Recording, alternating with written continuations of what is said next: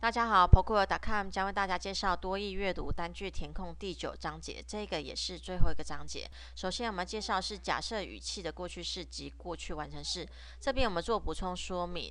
我们假设法里面呢，如果你使用过去式表示和现在式是相反的假设，那你的句型会变是变成 if 加主词加上动词的过去式。那我们主要子句会是主词加上 would、could、might、should 加原形动词。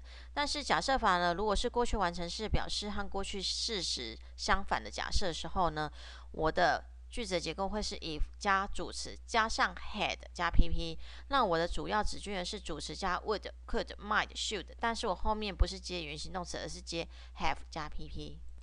我们看一下例句，在例句里面的开头呢，我是用 if 做开头的，那我可以思考一下，说我的动词是使用什么？使用 new 是过去式，那我的主要子句里面呢，我要填写空格 A、B、C、D 里面，我要看看这是不是和过去式表示和现在事实相反的假设，那如果是的话呢？你看一下我们的这个句子结构，我的后面我就必须要接什么？接 would、could、might、should 加原形动词。所以呢，这里的答案会是什么？会是 C，would 加原形的动词。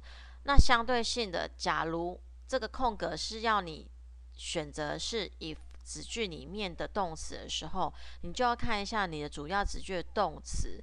是不是为这个 would could might should 加原形动词？假若是的话，你这边就要使用过去式的动词了。所以呢，下面这个句型的结构呢，大家要记一下。再拿来，接下来为假设语气的倒装句。一样的，如果我是这边有补充说明，if 加主词加 should 的时候，我们多使用在郑重请求或者是提案的时候。所以呢，if 加主词加 should 加原形动词，我可能后面主要子句我是用命令句，或者另外情况则是主词加上 will、can、would、should 加原形动词。所以我们看一下例句里面，你看逗点后面的主要子句是一个命令句，那我前面呢，我就是做什么？我就是做可能是 if 加主词加 should 加原形动词，可是我并没有看到 if 开头的，我只有看到主词跟动词的时候呢，那这边我就要直接用什么 should，因为 if 被省略掉，然后是做倒装的，所以呢，正确答案为 C。再来，我们看到这里是 many、much、few、little 加上名词的部分，这边我补充说明一下，many、a few、few 我是要接可数名词。但是 much a little little 我是要接不可数名词，在这里选项 A B C D 你可以看到，我们可以依照这里我们来看一下，说我们到底要选择的到底是哪一个？好，这里的主词我们看逗点后面的空格前面跟后面就好了。在这里呢，这个 features 是主词，那这边呢，我这边 excellent graphics 这边也是个名词，那这空格我到底要选什么呢？当然。Graphics，它是你看有 s 结尾的，这也是可数的名词，所以呢，我 A 的答案不可能，因为我要接单数。那 B 的答案没有错，我可以使用的。那 C 呢？Much 这边我要接不可数的名词，所以 C 是错误，所以 A、C 是错误的。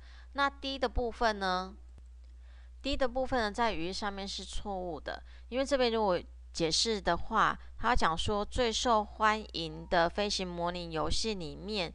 特色是有一些非常绝佳的图像，那这个语义上面是错的，因为有很多绝佳的图像来去做表示是比较恰当的，所以正确解答为 B。接下来我们要介绍最后一个为分词子句。什么分词子句呢？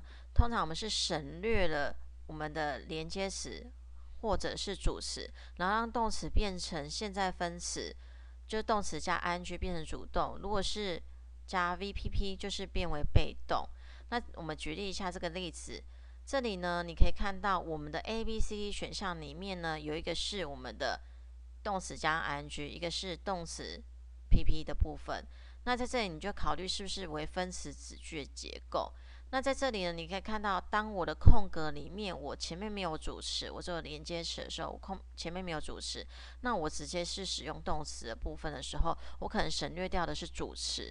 那在这里你在判断说，到底我要使用的是主动还是被动的形态？在这里呢，你看这边的意思，当你邮寄付款时，它省略掉了 you 的主词。这里呢，我们邮寄付款是自己主动去做付款的，所以呢。我要使用什么？我要使用动词的 ing，所以正确解答为 C。谢谢大家。